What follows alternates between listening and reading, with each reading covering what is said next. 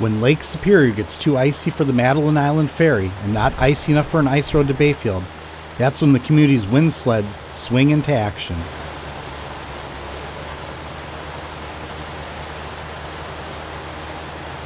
Brothers Arnie and Ron Nelson, who have been driving the wind sleds for decades, haul more than just people.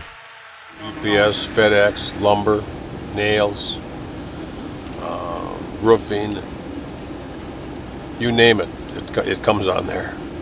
Yeah. Had a couple of funerals, brought people this way and caskets and stuff like that, uh, and taking them off. The first run of the day to Bayfield is for students who commute to school.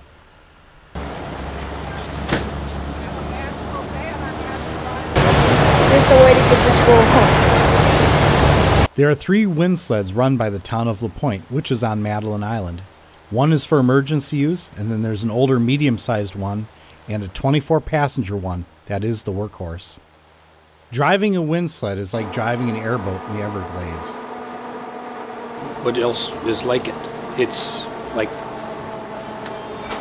it's a wind sled. It's supposed to be like an Everglades airboat or something like that, but it steers with wind and power. So if you you, you can't slow down and go into a corner because you take your power off, you can't turn.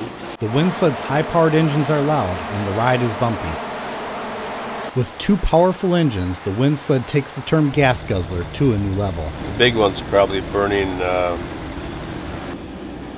probably a gallon and a half to two gallons to the mile.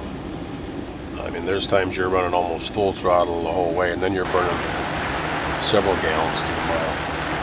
Few people outside the area have heard about the nation's only publicly owned wind sled. To us, it's just it's just what we need to get across. It's I mean it's pretty cool.